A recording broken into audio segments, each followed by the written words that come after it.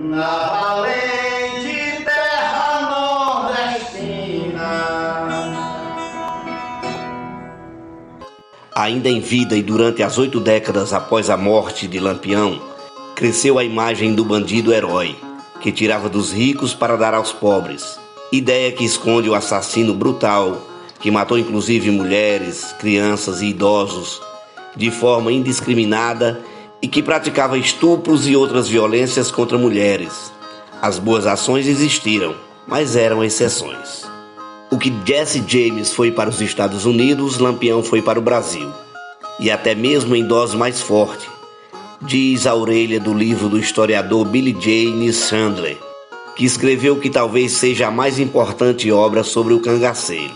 Soaria provinciano, não fosse Lampião, o rei dos cangaceiros, a obra de um americano. Cem anos atrás, Virgulino Ferreira da Silva, conforme a grafia com ódio e sua certidão de nascimento, entrou em definitivo para o cangaço, a se unir ao bando do cangaceiro Antônio Matilde, por volta de 1920. Já estavam envolvidos em episódios de violência. Desde 1918, os irmãos Ferreira só andavam armados e usando o chapéu com aba virada na frente, lenços no pescoço e cartucheiras, trajes de bandidos profissionais. O apelido Lampião já havia surgido, a aliança com Matilde, porém, institucionalizou o ingresso no cangaço. Em 29 de julho de 1938, jornais do Brasil e do mundo trouxeram a notícia de que o bando criminoso que espalhou violência pelo semiárido havia sido emboscado e morto no dia anterior. Há 84 anos, em 28 de julho de 1938, chegou ao fim a vida de Virgulino Ferreira da Silva e cresceu a lenda de Lampião. A notícia saiu no mesmo dia no Povo e no New York Times. Para relembrar as datas, foi reeditado a série de reportagens especiais, publicado por ocasião dos 80 anos da morte do bando. Passados 84 anos, não se tem dimensão do interesse e curiosidade mundiais despertados pelo chefe de um bando criminoso que nunca pisou numa capital de estado e restringiu suas atividades às regiões mais pobres de um país então ainda mais periférico. Durante 16 anos foi o criminoso mais temido, procurado e também admirado dos sertões.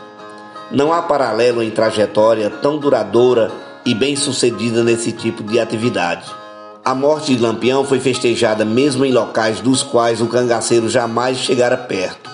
A notícia, como era natural, causou viva sensação no Rio, cuja população aguardou com enorme ansiedade sua confirmação, informou-se naquele dia.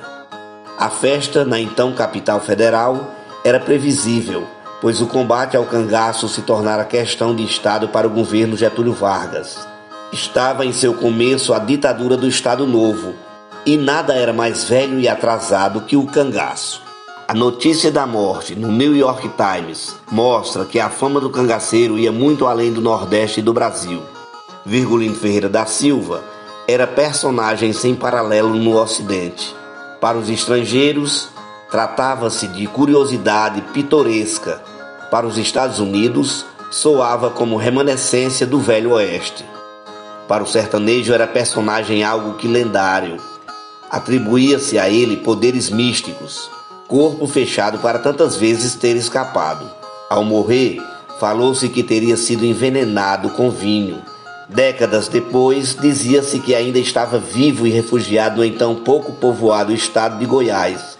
O cangaceiro e seu rei influenciaram decisivamente a ideia de que se faz de Nordeste, inclusive esteticamente. A mitologia em torno de Lampião criou ainda a imagem, até hoje difundida, de um bandido social, um Robin Hood dos sertões.